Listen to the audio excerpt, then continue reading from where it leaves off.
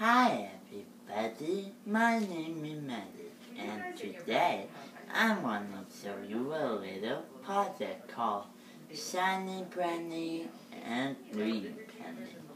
And absolutely, I have a special gift to demonstrate in my good friend Daddy Dave.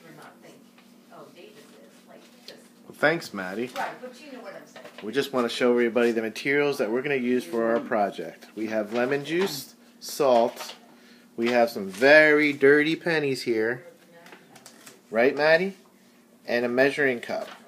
That's right, Daddy. And what have we done, Mattie? We've put the pennies where? Mm, Into the jars. And then what are we going to do, Mattie? mm, We're going to take the lemon juice and we're going to see what that does. Mm, Right?